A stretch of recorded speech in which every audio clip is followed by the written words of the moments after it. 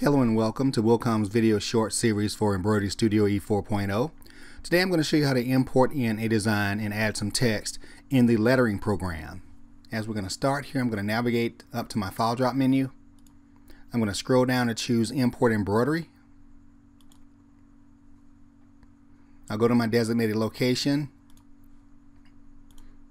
and open my design up on my screen as you can see uh, the entire design is selected. Um, if I left click off of it here and if I try to click on anything uh, independently uh, if I want to click on the outline here to the sail if I select it uh, it's going to select the entire design okay?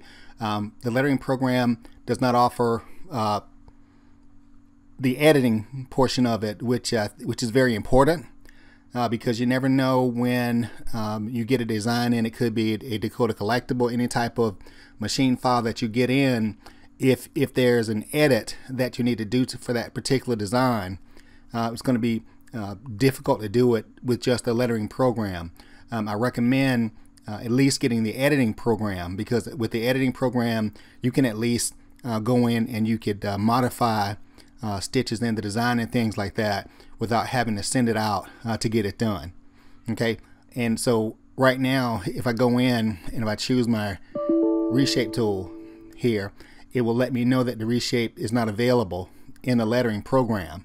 Okay, so I can't go in and edit anything uh, on the screen here using the uh, design that was imported in. Okay, um, I can go in, I can right click, and I can add text.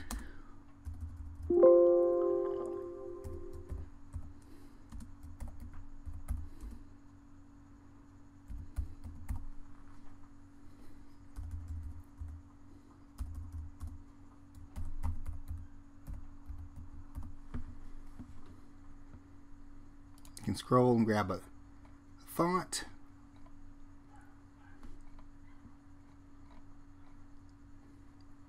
City script, create text.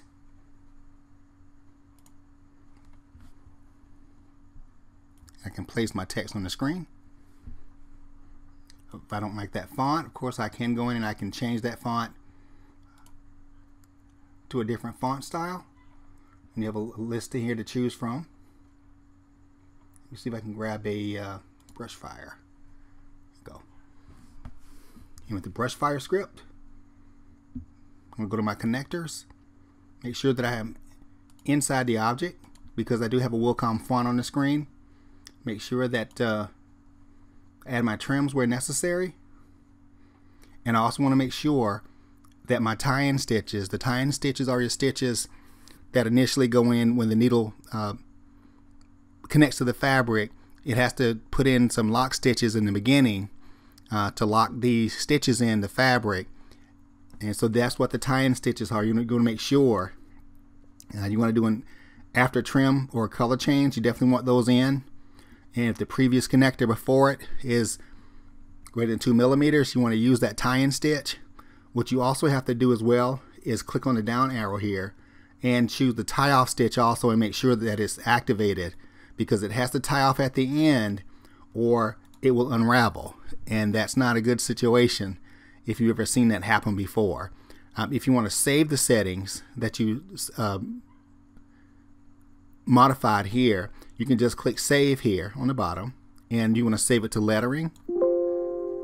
Just verify and you're going to click save again because you want to save it also to other objects on the screen as well and just acknowledge and it'll save those settings for you. Again, as far as modifying uh, and editing the uh, entire design, uh, you're limited. You're not going to be able to do that with the just the lettering program. And uh, as I said earlier, I do recommend at least getting the editing program so that you can have control of editing minor things with the designs if you bring them in and they need editing without having to send them out and to pay to get those done if they're fairly simple to do. You can actually do those yourself with the editing program. That's going to do it for uh, this uh, short. I thank you for your time. And as always, we ask you to join us at www.wilcomamerica.com. Thank you.